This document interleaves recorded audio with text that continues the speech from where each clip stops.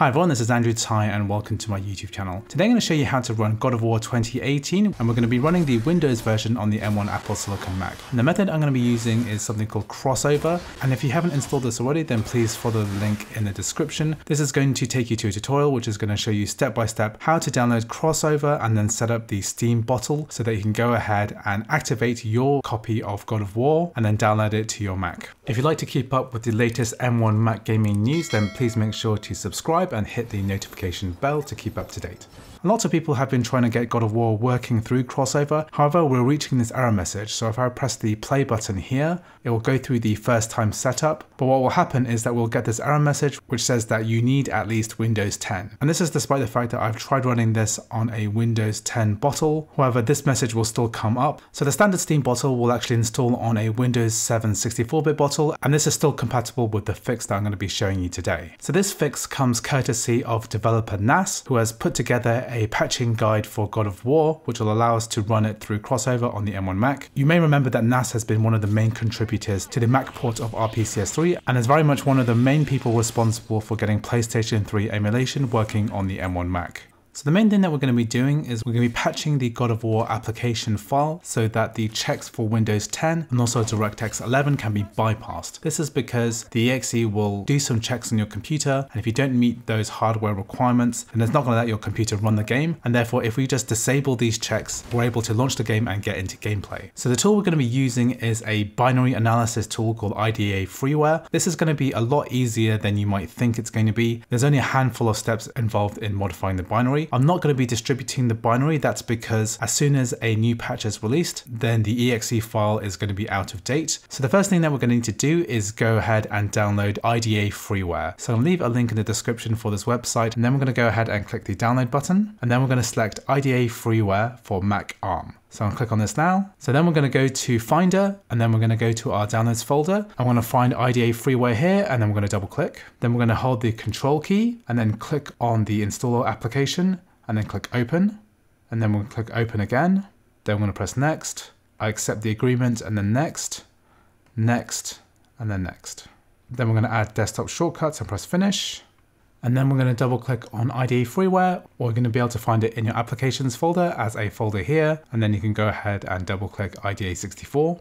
And then we're going to open up the application. So what we're going to do here is go ahead and disassemble a new file. And now we're going to find our God of War folder. So if you don't know where your God of War folder is, so I recommend what you do is you go to crossover, you go to your Steam bottle, you hold down the control key and then click on Steam, and then click open C drive. Then what we're going to do is to go to our program files, go to Steam, scroll down, go to Steam apps, go to common, and then find your God of War installation folder. And what I normally recommend that you do is you go ahead and grab the God of War folder and then drag it to your favorite sidebar. And then when we close this and minimize this, we'll have it in the left sidebar here. So you can find the God of War exe, gow.exe, and then press open. So here we're going to be selecting the first line here, portable executable, and then press OK here. Just leave everything as the default option. It's asking us to load some additional DLLs. We're just going to press cancel until this closes.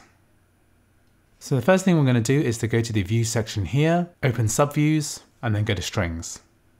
Then we're going to hold the control key and I'm going to click on any item here. And then we're going to press quick filter. And then we're going to search for that error message that came up earlier. I'm going to type in the word Windows. So here we filtered for the word Windows, and so we found the error message that we were encountering earlier. So here we're going to double click on this highlighted line. And then next what we're going to do is to hold down the control key and then click on this line. Then we're going to click list cross references to. Then we're going to select the first line here and press OK. And this is the location that we found. We're going to double click on the arrow that's pointing towards it. And then we're going to find this line here, which says JNZ. So this JNZ stands for jump if not zero. And what we're going to do is to change it to always jump. So here we're going to select the line and then we're going to go to the edit button here and then patch program and then assemble. So we'll click this now and then we're going to select the JNZ line here. We're going to delete this and then change it to JMP. And then we'll press OK. And here we're going to press cancel. Then we're going to go back to our strings section and then we're going to double click on this string again. And then we're going to control click on this line and then this cross references to, And now we're going to select the second reference and press OK. And now we're going to do a very similar thing. We're going to double click on the arrow that points towards this box. Then we're going to select the last line JNZ. We're going to go to Edit, Patch Program, Assemble. And then we're going to click on the JNZ, delete the NZ and then change it to JMP. And then press OK. And cancel. Then we're going to go back to strings. So this has now removed the check for Windows 10. However, there is an additional check, which is for the error message, you need at least D3D feature level 11. So in this string filter that we have open already, we're going to type in the word D3D underscore, and we're going to find that error message that we found earlier. Then we'll double click on this string. Then we're going to control click on this line and then click list cross references to, and then we're going to find the one reference here and press OK. Then we're going to find this location ID and then control click on this and then this cross references to. Then we're going to double click on the top line here. Then we're going to control click on this last line and then click text view. And then what we're going to do is to go to edit, patch program and assemble. And then we're going to delete this line entirely and then type in the word NOP and then press OK. And then basically what we're going to do is to enter the word NOP for the next five lines. Press OK, NOP, press OK, NOP, press OK. We basically want to remove all of these yellow lines here. So NOP, press OK, and NOP, press OK. So once we're done with the yellow lines, we can press cancel here. Then we're going to go back to strings, double click on this line, control click here, click this cross references to, and then press OK. So here we're going to press the location at the top, then we're going to control click on the location and then click this cross references to and then press OK. Then we're going to click on edit and then patch program and assemble again. Then we're going to type in NOP, press OK. Now I'm going to remove all of the rest of these gold lines. So NOP again, NOP, NOP, NOP, then NOP, then cancel.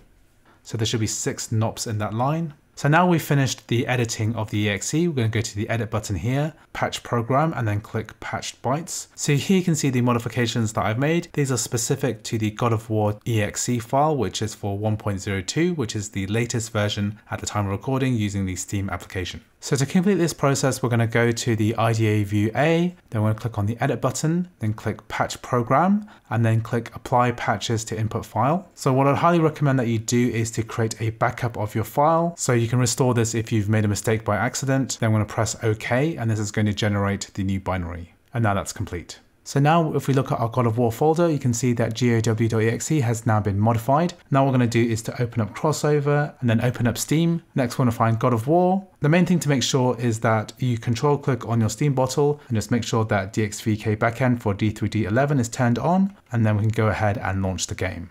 So here we're running God of War at low settings at 1080p and as you can see on my M1 Max chip with 32GB of RAM, the actual game actually runs pretty well. So there is the occasional stutter when new areas and new enemies are loading, but once the shaders have been compiled it seems to run a lot smoother. So expect a little bit of stuttering when you're seeing new animations and effects for the first time, but after that it seems to calm down. There does appear to be a little bit of audio dialogue mismatch and throughout the game you'll notice these tiny blue speckles on all of the textures and this isn't really that noticeable from far away however there are some moments when it will cover a character. However this might be expected from running a Windows game through a compatibility layer, especially a brand new game like this which hasn't been optimized at all to run through crossover or the M1 Apple Silicon Mac.